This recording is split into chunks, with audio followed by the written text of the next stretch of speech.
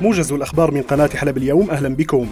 فريق منسقي استجابة سوريا يصدر تقريرا حول الكلفة الكلية لتأمين المعيشة لأسرة مكونة من أربعة أفراد ضمن الحدود الدنيا شهريا في شمال غرب سوريا بنحو 312 دولارا.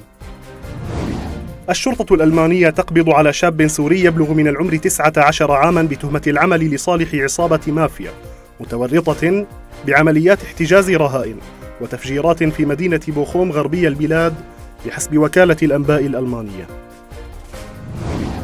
السلطات اللبنانية تطرد لاجئين سوريين بدعوى أنهم مخالفون من بلدة بزبينة بقضاء عكار شمالي لبنان بعد توجيه إنذارات إليهم بالإخلاء تنفيذا لقرارات الحكومة وفق الوكالة الوطنية للإعلام.